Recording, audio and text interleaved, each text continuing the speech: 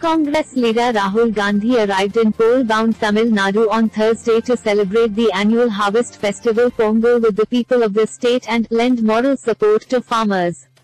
After arriving at Madurai from Delhi on Thursday afternoon, Rahul Gandhi reached Avaniyapuram in Madurai where he is now attending a Jallikattu event.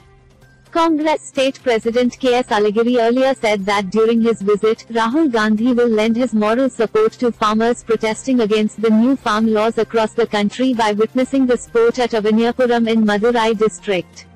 The bull is a symbol of farmers and part of their lives, the Tamil Nadu Congress Committee President said.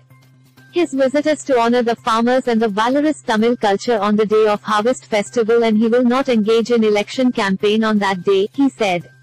Billing Gandhi's event is Rahulin Tamil Vanakkam. The Congress leader said it was also intended to dislodge the inept AIADMK regime, subservient to the centre.